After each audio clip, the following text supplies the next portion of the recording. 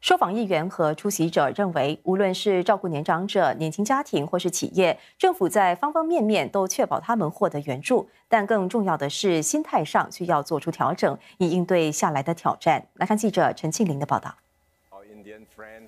受访出席者对总理在群众大会上提出的各项政策表示欢迎。有年长者和企业认为，他们必须踏出第一步，才能跟上时代步伐，印度瞬息万变的环境。I hope that we can continue the way we are doing.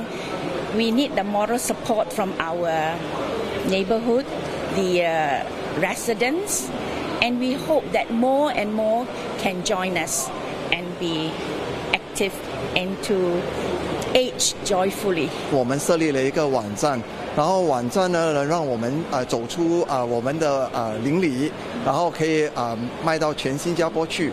然后这这甚至呢送啊卖到国外去。我们希望是跟呃不同的学府呢来合作啊，包括呢政府的部门。总理也提出新的技能创前程求职援助计划。工会认为，除了被裁的工友获得照顾，企业也将受益。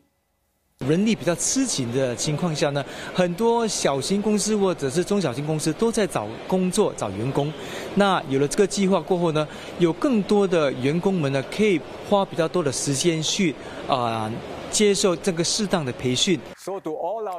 也有受访议员表示，新住屋和新家庭政策将能协助年轻夫妇在工作和照顾家庭之间求取平衡。让我们的住房政策与时并进，跟我们的这个社会还有年轻人的理想，呃呃与时并进。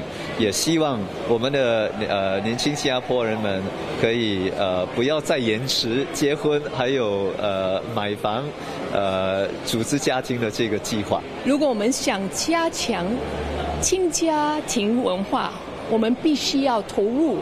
资源来帮助新父母，我们也必须要雇主和工作伙伴的合作。我们现有的产假哈是呃，他们的框架是根据旧时代的那种性别角色的，呃，母亲的产假比父亲的多了许多。呃，不单只是延长这个产假的问题，工作上哦，雇主和工作的文化也必须要做出一些改变，才能够让父亲呃能够充分的使用。